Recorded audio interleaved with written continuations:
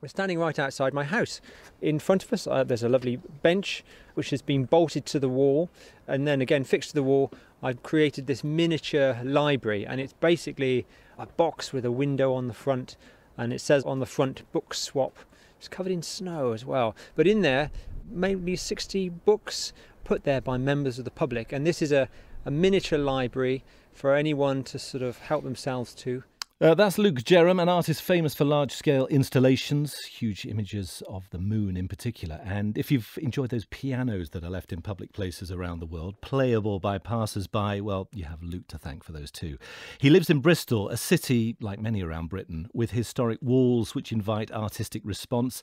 Uh, remember, Bristol is the place where local lad Banksy first made his mark. Luke took us on a tour of his favourite Bristolian art walls the book swap is very much bolted to the wall, and a wall is it can be a, a, dividing line between the public space and the private, but also for me, it's an opportunity to create little public spaces and moments of exchange. So it's a place for people to congregate and bring people together. As an artist, I'm int- always interested in those thresholds, and I often get into trouble where I put an artwork against a wall and then I find out that actually that's private space. And I, if I move it away from the wall by about 50 centimetres, that's okay. And that's suddenly in, in public space, and so that's sort of acceptable. So it's really interesting as an artist trying to make artwork in the public domain, what the rules of engagement are, and what you what you can and you can't get away with.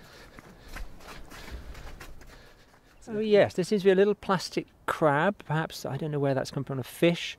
We've got a couple of marbles. We're standing now next to what's known locally as the Magic Wall. And what it is, is this lovely old stone wall, uh, but all the grout seems to be missing between the stones, and it's left these little concaves and little spaces that children have left teeny little toys for other children to find and discover. It's a really interesting little place of exchange for you know made by children for other children in the area.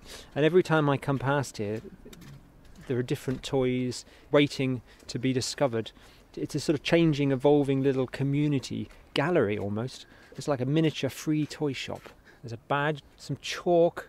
Oh look there's a, a spinning top. It's quite a nice thing isn't it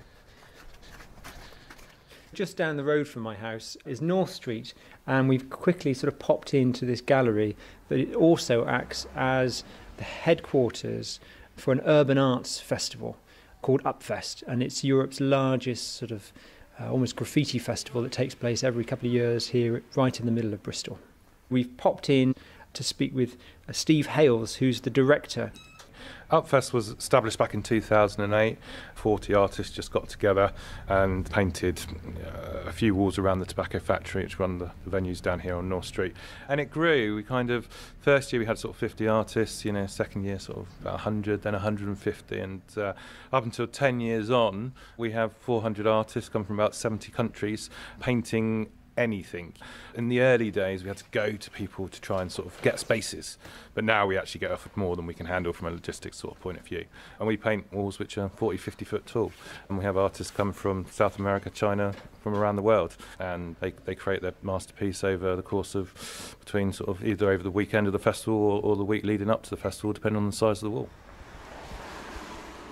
right on on the corner of, of one of the streets is a takeaway, and uh, on the side of their building is this 10 meter mural, and it's a sort of photorealistic painting of, uh, of Stephen Hawking, a memorial and an, artwork in, made in the memory of, of his work. Beautiful, actually. It's an amazing uh, patina of painting of splash marks almost that look like kind of miniature galaxies spreading out ac- across the wall. This mural of um, Stephen Hawking has been painted by what looks like a, a graffiti artist called Archie, painted in 2018. It's got his signature there, uh, about a metre tall, so he's obviously very proud of it. I think it's a great uh, mural actually. We're just around the back of the Hippodrome on Orchard Street, and it's just a little narrow street with quite high walls, but it, it has this these extraordinary acoustic properties where if you make a noise, it clatters and bounces from one side of the wall to another there must be all these hidden architectural phenomena right around a city that people just don't notice. It's great to be able to share this with you. for me, it's a hidden gem of a place.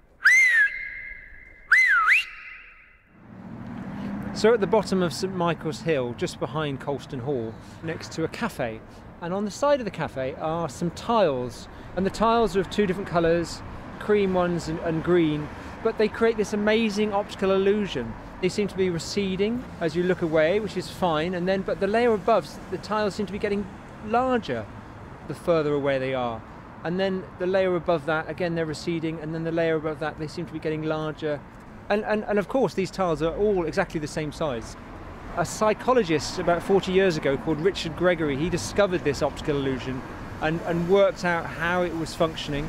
And it's, it's known worldwide now, it's famous worldwide amongst psychologists as being called the cafe wall illusion. Here, just in the north of, of Bristol, just on the edge of the city, in, in a district called um, Stokes Croft, which um, is famous really for its urban art. All the walls are covered with amazing graffiti, and there's a real sense of the sort of independent spirit of Bristol here. We're right next to Hamilton House, which is an art centre, and on the wall is one of Banksy's first artworks called The Mild, Mild West. And uh, it was painted in the 1990s. We've got a, uh, a giant teddy bear who's throwing a Molotov cocktail at three policemen in with riot shields, painted in response, I think, to the raves. The police didn't like those those parties from taking place, and a scuffle and a fight broke out. And the painting was a sort of response, really, to that oppression by the police and by the authorities. And it's become a sort of icon, really, for the city. But just beneath that is another wall that's been completely covered in beautifully painted bricks, and each brick has been painted by an individual artist and it seems to have lasted here for maybe 10 years and is slowly growing across the wall with maybe a 100 different coloured bricks. It's absolutely beautiful. But I like the idea that every artist is say, look, you, you've got one brick, express yourself, and that one brick becomes part of this larger exhibition that's gradually stretching down the wall, then down the street. Artist Luke Jerram touring the artistic and historic walls of Bristol.